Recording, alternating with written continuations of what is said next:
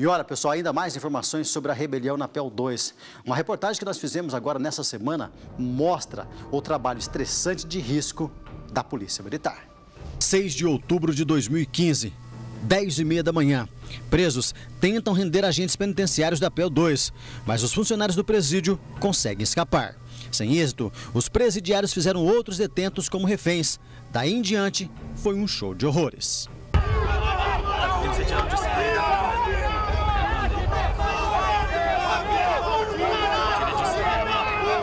As imagens mostram sessões de espancamento e destruição da unidade. 24 horas depois, quando todos achavam que a situação já havia sido controlada, os presos aproveitaram os estragos provocados no dia anterior e tentaram uma fuga em massa. Começava ali um dos trabalhos mais perigosos e estressantes já verificados, o da Polícia Militar.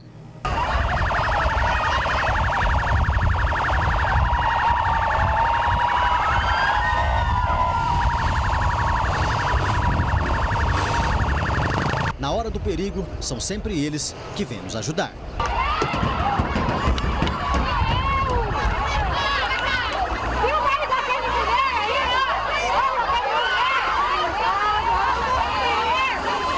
Centenas de militares foram mobilizados e minutos depois já estavam no presídio frente a frente com bandidos de alta periculosidade.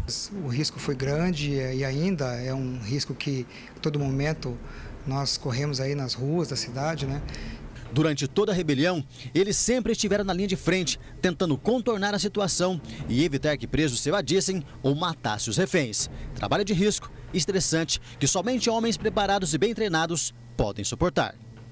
É, na parte interna, estressante, porque você lida com um fator é, bem complexo, é, isso tem que ser levado em consideração pela sociedade. Foram 230 policiais divididos em vários turnos. Durante horas, as equipes ficaram do lado externo da unidade, sob sol escaldante e, em determinados momentos, embaixo de chuva intensa.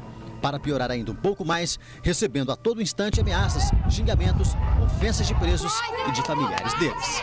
O policial tem que estar com equilíbrio emocional, preparo profissional, porque nós recebemos diversas é, xingamentos, é, o policial é hostilizado a todo momento, é, se tenta jogar o policial contra a sociedade. Dez dias depois da rebelião e fuga, dezenas de policiais militares continuam um trabalho de guarda e de recontagem dos detentos aqui da PL2. Eles se revezam 24 horas para evitar um novo motim. A polícia acredita que o trabalho de reconstrução da penitenciária deva demorar ainda algumas semanas. Enquanto isso, os policiais ficarão de prontidão 24 horas no local. O comandante da Polícia Militar em Londrina, Tenente Coronel José Luiz, fala o quão foi importante o trabalho da PM na rebelião da semana passada. O trabalho dos policiais militares é, de todas as áreas aqui do batalhão e da unidades vizinhas tem sido de maneira profissional. Né? Nós atuamos de forma técnica, dentro das normas, é, para evitar risco de fugas é, e outros fatores que possam vir se desencadeando.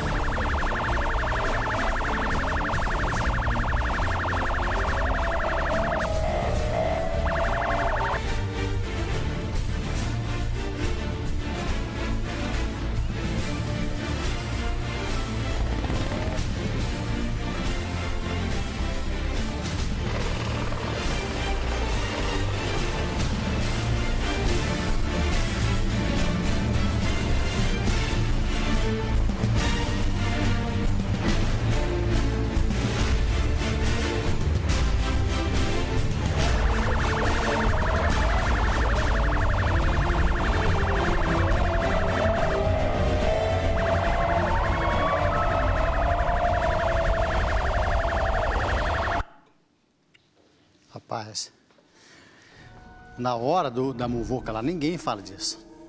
Ninguém vai atrás. O pessoal só fala assim, ah, porque os coitados dos presos lá. Não, gente. Por isso que eu sou a favor sempre da polícia, da gloriosa polícia militar. Numa situação de risco, perigo, são eles. Primeira coisa que você faz, ó, quando você está vivendo o risco, o que, que você vai fazer? 190, precisa de ajuda. Aí quando você não precisa, vão escrachar os policiais. Entendeu? É sempre assim. Na hora que o bicho estava pegando lá na PEL, a primeira coisa que eu vi no rádio, apoio, manda a polícia aqui, manda a polícia aqui, vem pra cá, estão precisando de apoio. E daí vai, ferve de viatura. Os policiais que até de folga policiais que estavam de outros batalhões são chamados e são é, imediatamente convocados a irem para o local, a chegar numa rebelião, tomar tijolada, ser ofendido, o, bandido ofendendo, xingando e o policial não pode fazer nada. Quando passa naquele corredor ali, alguns familiares de detentos, alguns, não vou generalizar, mas alguns que não tem nada que fazer, que ficavam lá enchendo o saco, atrapalhando o serviço da polícia, ofendendo todo mundo que estava trabalhando, lá metendo o pé, xingando, ofendendo algumas mulheres, entendeu? Não estou generalizando, repito, mas uma boa parte estava lá, não sei para quê. Ah, quer saber informação, quer saber informação, fica em casa, ela vai colher a informação. Entendeu? A gente vai estar tá passando informação. Agora, dessa, desse jeito aí, atormentando, xingando, ofendendo os policiais, você imagina o preparo que esse pessoal não tem que ter, cara para se segurar, porque quem é que aguenta você trabalhando em sol, chuva, calor, frio, a todo momento e ouvindo o pessoal te ofendendo, chamando você disso e daquilo e você tem que ficar quieto, tem que manter a postura e tentar trabalhar ali e evitar que a bagunça fosse maior ainda. E esses gloriosos policiais, foi isso que eles fizeram lá. A todo momento, cara. Até hoje tem policiais na PEL ainda para aquele trabalho de recontagem e evitar novas fugas. Parabéns à Polícia Militar, parabéns. Trabalho na PEL, inclusive o trabalho que alguns advogados falaram para nossas equipes de reportagem. O trabalho que a PM fez na PEL 2 foi simplesmente espetacular, nós mostramos aí agora. São policiais louváveis que a gente tem que parabenizar e aplaudir aqui, porque são eles que estão cuidando do bem da sociedade londrinense.